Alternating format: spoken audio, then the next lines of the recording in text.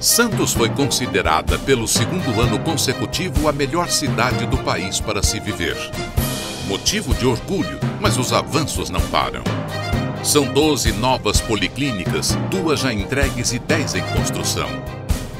A UPA Central será entregue em janeiro com atendimento 24 horas.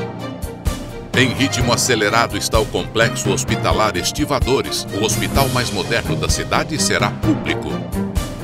Na educação, mais de 50 escolas foram reformadas neste ano. Opções de lazer não faltam, como parques, teatros e praças esportivas. Nas ruas, mais de 500 câmeras foram instaladas. Além disso, o investimento em novas ciclovias e transporte público garante mais mobilidade. Inovação e trabalho sério, cuidando do futuro da cidade. Prefeitura de Santos, construindo uma cidade para todos.